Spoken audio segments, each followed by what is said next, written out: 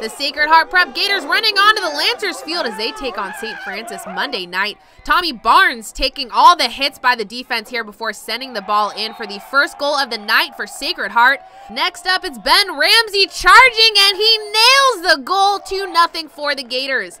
A loose ball is snatched up by Ted Vought. He goes around his defender, finds a path to the net, and it's in there. Gators up by three.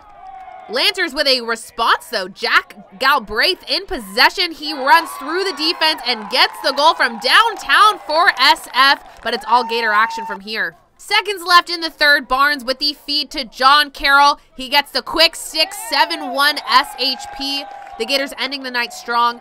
John Sonsini gets the ball 30 yards out. He's looking for a guy to pass it to, but then he finds a path to the net and he does not miss as the Sacred Heart Prep Gators stay undefeated on the season with the 12-1 win. Barnds leading the way with five goals, Ramsey with four.